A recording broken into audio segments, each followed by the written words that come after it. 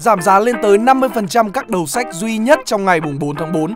Đừng quên truy cập nhà sách Spyroom trên Shopee nhá. Chào mừng các bạn đã quay trở lại với Spyroom. Mình là Việt Anh và hôm nay chúng ta sẽ đến với bài viết Tại sao các trò đổi về sex lại buồn cười? Hiểu hơn về dog và bro cùng với giới trẻ. Đây là bài viết của tác giả Hoàng Hà 1995, được tổng hợp kiến thức bởi các sách như Playfully Inappropriate, The Fun Way to Write Comedy của tác giả Jared Voller và UCB Manual của UCB Theater cùng kinh nghiệm quá trình làm biên kịch, diễn hài của cá nhân tác giả. Giờ thì chúng ta cũng bắt đầu thôi.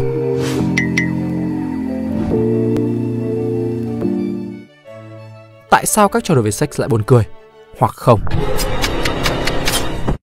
Trong các cuộc trà dư tử hậu với bạn bè, chúng ta có rất nhiều câu chuyện đùa nho nhỏ liên quan đến sex và cũng khá là thú vị. Vậy thì tại sao những chuyện sex bên cạnh sốc, xến lại thu hút và đi sâu hơn là làm chúng ta cười? Câu trả lời sẽ nằm trong công thức dưới đây. Công thức cho việc hài, theo định nghĩa của nhà hát kịch UCB ở Mỹ, thì cái hài được coi là games của cảnh diễn, scene là điều lạ, unusual thing, xảy ra khác với bình thường. Bình thường được biết đến như phần safety, xanh lá cây, đó là cuộc sống bình thường của các bạn, hoặc không gian, thời gian trong câu chuyện hài. Cuộc sống hàng ngày, sáng đi làm, tối đi về thì chả có gì hài ở đó cả. Bạn sẽ có những ngày thấy chán vô cùng với các cuộc đời nhàm chán, đều đều của chính mình. Phần đỏ, violation, chính là những điều kỳ lạ xảy ra trong cuộc sống giúp cho cuộc sống, cảnh diễn của bạn thú vị hơn. Phần đó nó phải liên quan đến safety của bạn. Cái buồn cười sẽ xảy ra những nơi bạn hay đến như văn phòng, nhà ở, vân vân. Chuyện lạ xảy ra một quốc gia bạn không biết, không liên quan đến bạn thì bạn sẽ không thấy buồn cười hoặc không hiểu để mà cười. Cái lạ này còn dựa vào rất nhiều những định nghĩa khác nhau để mọi người cười. Phần này mình sẽ nói chi tiết sau. Tại sao nó lại thú vị? Đơn giản là vì nhắc đến sex là một cái unusual thing trong cuộc sống. Tất cả chúng ta đều hiểu sex là gì. Nếu bạn nói sex jokes cho một đứa bé, nếu bạn nói sex jokes cho một đứa bé, một người chưa từng have sex thì tất nhiên họ sẽ không hiểu và không cười.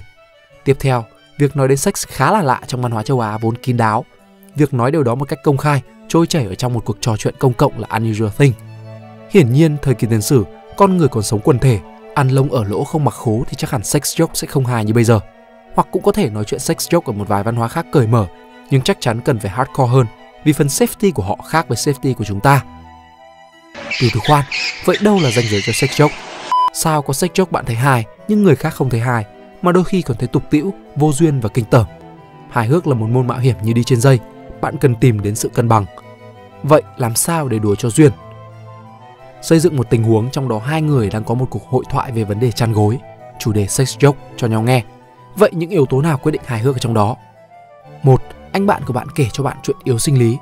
Bạn sẽ thấy hài vãi trưởng và phản ứng đầu tiên là khẽ cười hoặc cười to vào mặt.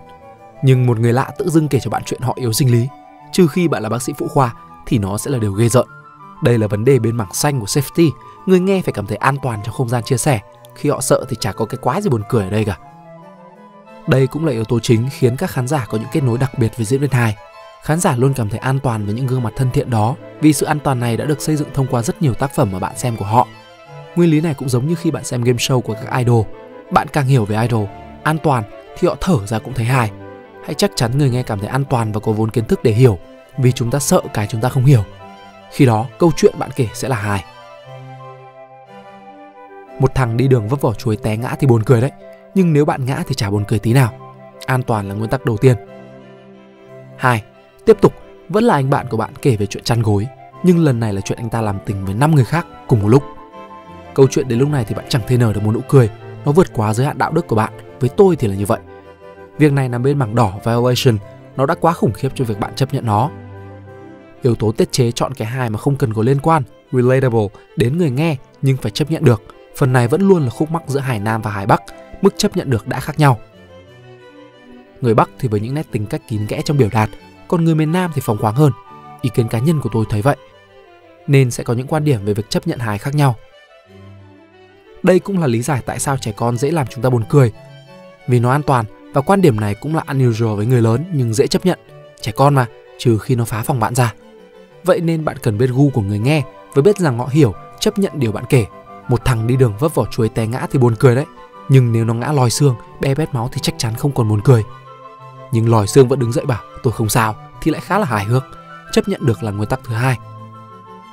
3. Cách truyền tải là nguyên tắc thứ ba cần chú ý đến. Như đã nói ở trên, người nghe cần rõ ràng vùng safety là những cái kiến thức chung, không gian, nơi mà khán giả cảm thấy an toàn. Vùng violation là nơi unusual thing, cái lạ lùng làm con người ta thích thú và bất ngờ. Vậy cách truyền tải cần phải làm hai việc. Một, xây dựng cái safety và hai, đem cái violation đến với khán giả một cách chấp nhận được. Công thức đơn giản của tất cả các loại hài kịch chỉ là setup, xây dựng thực tế, cộng violation, punchline, cái hài, cộng làm nguội, giải thích, chuẩn bị cho cái hài hơn tiếp theo. Đây cũng là lý giải tại sao trò chuyện với bạn bè thì lại vui hơn. Bạn không tốn thời gian setup, cũng như nói xấu về một đứa hai người cùng ghét cũng rất vui. Phần setup cần rất rõ ràng để có một nền tảng chung không còn lăn tăn gì.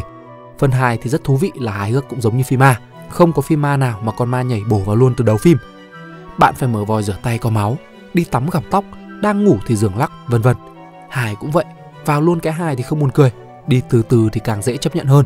Một thằng đi đường vấp vỏ chuối té ngã thì buồn cười đấy, nhưng thằng bạn của bạn bị thầy giáo bắt đi học muộn, xong nó chạy vấp vào cái vỏ chuối té thì buồn cười hơn. Meme Dog và Bruh tại sao lại lên ngôi? Gần đây, mình quan sát các meme dog và bruh lên ngôi trong giới trẻ nhiều hơn. Tất nhiên cái gì càng phổ thông thì hàm lượng thông minh cũng kém đi. Vậy cùng tìm hiểu xem tại sao xu hướng hai này lại thú vị. Một, Safety. Câu chuyện này mọi người đều biết chứ, với ai không đọc Naruto hay Pokemon thì chắc chắn là không cười rồi. Chuyện này đủ an toàn bởi vì đây chỉ là nhân vật hư cấu, không ai bị tổn thương cả. Người xem cũng không bị hại gì. 2. Violation. Chuyện ảnh về một trẻ mồ côi khá lạ trong cuộc sống, cảm thấy sẽ thú vị hơn nếu một xã hội đều nói đùa về trẻ mồ côi thì nó sẽ không còn hài. Hoặc bạn nói đùa về trẻ mồ côi trước mặt người thế hệ trước như bố mẹ bạn thì họ sẽ nhìn bạn với ánh mắt kiểu hmm. Người trẻ thì dễ chấp nhận hơn những yếu tố này do sự cởi mở của cộng đồng bàn tán về sự mồ côi của Naruto khá là công khai. 3. Cách thể hiện Nếu chỉ có ảnh dưới không thì sẽ không hài, nhưng ảnh đầu tiên để setup giúp khán giả chuẩn bị vào mood và ảnh dưới để khán giả cười.